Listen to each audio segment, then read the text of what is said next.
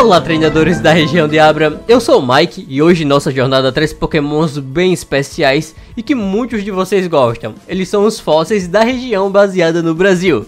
Todos os pokémons que vamos mostrar aqui foi feito num contest que juntou a galera que é membro do canal e inscritos e vocês mandaram várias ideias, vários fake mons pra gente estar tá colocando aqui dentro. Então nossos paleontólogos e pesquisadores lá do nosso Discord encontraram algumas espécies bem interessantes para compor a região de Abra.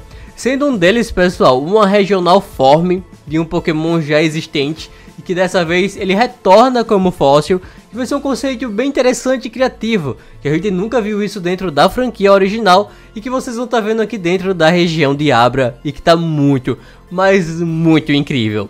Antes da gente revelar os novos fósseis, peço a todos que se inscrevam no canal, ative o sininho e principalmente deixe o seu like e um comentário do que vocês acharam desse vídeo e que vocês têm ideias para futuros pokémons da região de Abra. Agora pegue seu kit de exploração e vamos trazer de volta a vida antigos pokémons da região de Abra. E conheçam Dodumb. Dodumb pessoal foi um pokémon criado pelo Leo, ele mandou no contest e foi um dos pokémons muito bacanas que foram enviados, um dos muitos né que tiveram. E ele é baseado pessoal numa ave do terror ou no Dudu. Então a gente tem essa ideia para esse Pokémon. A sua tipagem é rocha e noturno, sua habilidade é Intimidate, sua Hide Ability é Sturge, seu tamanho é 30 cm e seu peso é 60 kg. A sua Pokédex diz a seguinte coisa: Conhecidos por seus hábitos agressivos, muitos acreditam que eles viviam em grupos pequenos e criavam embates com quase todos os seres que não faziam parte do seu bando. Seu crânio exposto aumenta seus danos físicos e seu olhar ameaçador faz com que poucos seres se aproximem deles. Um Pokémon bem interessante, né, pessoal? A gente tem essa ideia de trazer a ave do terror, né, o Terror Bird, como é conhecido também, e ela é uma ave é, conhecida aqui da parte do hemisfério sul, e ela é bem interessante, pessoal, bem interessante mesmo. O conceito que deu para essa primeira formatura ficou bem legal. E ele tem uma mistura de conceito bem interessante, que é misturar do terror com o Dodô, que é um dos seres bem opostos, né, aparentemente. E eu curti muito, pessoal, visualmente, e refazer ele também no meu traço ficou bem interessante. Gostei muito, gente, gostei muito mesmo. Comente se vocês gostaram da primeira forma. E ele acaba evoluindo no level 40. A sua evolução ele agora passa a se chamar Terrilurge. A sua tipagem também se mantém rocha e noturno, sua habilidade é Intimidate, sua Radiant Ability é Sturge, seu tamanho 1,60m e seu peso 190kg. A sua Pokédex dessa vez diz a seguinte coisa: Esse Pokémon possui uma agressividade incontrolável, seu crânio tem uma força capaz de destruir qualquer rocha. Em combate, golpes certeiros desse Pokémon podem causar danos irreparáveis a seus adversários. Os ossos no pescoço desse Pokémon é um sinal para mostrar o quão perigoso ele pode ser. Quanto mais ossos, mais fortes é esse Pokémon. Tem um conceito bem interessante para ele, né, pessoal? A gente vê uma evolução muito grande do Dudumb para o Terrilurge, que, cara, visualmente ele ficou bem agressivo, né? Ele lembra um pouquinho também o dinossauro, ele lembra um pouquinho aquela coisa jurássica ali, né? Cretácea, como a galera também vai me corrigir aí nos comentários. E, cara, ficou bem legal ter dado essa mistura visual pra ele. Tanto que se você pegasse só uma silhueta, vocês provavelmente iriam achar que ele é um dinossauro. Ele tem sim essas referências pra ele, né? Ainda mais por todo aquele lance de dinossauros terem um certo parentesco com as aves terem penugem e tudo mais, então eu dei essa reforçada nesse visual dele pra ele ficar bem interessante. Comentem se vocês gostaram dele, pessoal. Fósseis bem interessantes, né, pessoal? Comentem embaixo se vocês curtiram eles, se vocês gostaram deles visualmente, da Pokédex deles. Eles realmente têm um visual muito incrível, pessoal, e foi um dos que eu mais gostei. E outro dado para vocês já ficarem cientes, esse daqui é um dos últimos Pokémon Dark que deve aparecer na região de Abra. A gente atingiu um limite, já tem bastante coisa. Infelizmente a galera só pensa em criar Pokémon Dark, porque acaba sendo mais fácil, talvez, não sei.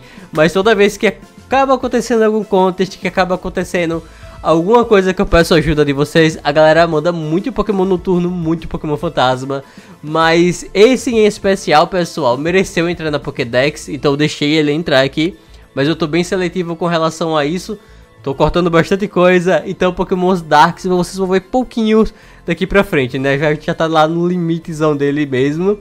E outro ponto, pessoal, interessante que a gente tem para escolher esses fake mons que compõem a parte dos fósseis da região de Abra foi o seguinte, ele veio pelo mesmo critério de período que eu acabei utilizando na própria região de Chong. Eu evitei pegar o período Jurássico, o período Cretáceo, e a gente deu uma avançada mais pra frente. A gente pegou ali um período próximo ao Cenozoico, mas com algumas exceções, claro, né, pra gente compor esses fósseis da região de Abra, já que agora são quatro. Vão ser dois nesse e dois no próximo vídeo. Mas agora vamos ver o próximo fóssil, que é uma regional form, e que eu acho que vocês vão curtir demais essa ideia. Então bora dar uma olhadinha como é que tá ela. E conheçam o Swinub Regional Form. Essa é a primeira forma regional da região de Abra que eu apresento para vocês oficialmente. Ele foi feito pelo Kai e traz um conceito muito legal e muito novo que vocês estão vendo aí, né? Que é pegar um Pokémon original e transformar ele numa forma regional, porém numa forma fóssil. Eu achei bem interessante, pessoal. A primeira base que vocês vão ter para esse Pokémon é, são as originais do próprio Swinub, mas agora vem uma grande referência para ele que é o Mastodonte. Então, bora lá ver mais detalhes sobre ele. A tipagem dele, pessoal, agora passa a ser terra e rocha, a sua habilidade é Oblivious ou Sandvale, sua Radiability é Fact, seu peso 55 kg e seu tamanho 80 cm, sendo bem maior do que o próprio Swinub original que existe, né? A sua evolução ocorre no level 40, e seu Pokédex diz aí a seguinte coisa, eles são antepassados do Swinub que conhecemos atualmente. Suas características mostram um Pokémon mais forte e maior que suas formas atuais. Seu comportamento é bem peculiar porque são preguiçosos, pois sua energia acaba muito rápido, necessitando comer uma grande quantidade de berries para repor a sua energia. Um Pokémon bem interessante, né, pessoal? E a mudança que a gente tem de Swinub para ele é muito grande também. Principalmente o tamanho corporal dele agora passa a ser maior e mais pesado do que o próprio Swinub original, né? E ele tem uma aparência bem diferente, bem engraçada. Tem um, um jeitão dele, tem suas patinhas ali meio que virada pro chão. Achei ele bem da hora, é bem engraçadinho mesmo. E bora conhecer mais da evolução dele que acaba correndo level 40. E conheça o Mastorswine. A sua tipagem agora, pessoal, passa a ser grama e rocha. A sua habilidade é Oblivious ou Sandveio e sua High Ability é Grass Surge. Seu peso é 395 kg e seu tamanho 2,90 metros. 90. A sua Pokédex diz a seguinte coisa, apesar do seu tamanho, eles são muito dóceis e usam suas presas apenas para autodefesa. Cientistas da região afirmam que eles foram extintos por causa da falta de alimento e devido ao frio. Os Swinubs sobreviventes se adaptaram e passaram a evoluir para Poloswine e Mamoswines, e eles são considerados um elo perdido. Muito bacana esse Pokémon, né, pessoal? A gente pensar ali que anteriormente do ter o Paloswine e Mamoswine, existiu esse é, Swinub que evoluía para o Matsowine, né? Que é bem interessante. Eu gostei demais, pessoal. Criativo muito, muito criativo mesmo. Se vocês tiverem ideias semelhantes, comentem embaixo que vai valer muito a pena trocar essa ideia com vocês. Então, gente, comentem embaixo se vocês gostaram da primeira forma regional da região de Abra oficialmente divulgada para vocês. E esse novo conceito, pessoal, de pegar um Pokémon original dos tempos atuais e transformar ele numa forma fóssil e sendo uma forma regional também foi muito interessante, né? A gente pegar o Swinub lá de Jotô, transformar agora no Swinub de Abra, só que numa forma fóssil dele. Eu achei muito interessante, pessoal. É uma ideia que se você for aplicar na sua Fake Dex, vai agregar demais. Então deixa embaixo, tipo, se você fosse fazer uma Fake Dex e pegasse esse conceito, qual Pokémon vocês acham que daria para transformar num Pokémon fóssil, né? Um Pokémon ativo dos tempos atuais. Comenta embaixo, eu quero saber muito se vocês têm algum tipo de ideia interessante eu quero muito que vocês compartilhem isso aí. E pessoal, o vídeo tá chegando no finalzinho, eu espero que todos tenham curtido o vídeo. Deixe seu like, compartilhe, se inscreve no canal, divulga pros teus amigos, que isso ajuda muito o canal, pessoal, a continuar com esse tipo de conteúdo por aqui. Eu vejo vocês na segunda parte desse vídeo, até a próxima, um grande abraço e fui!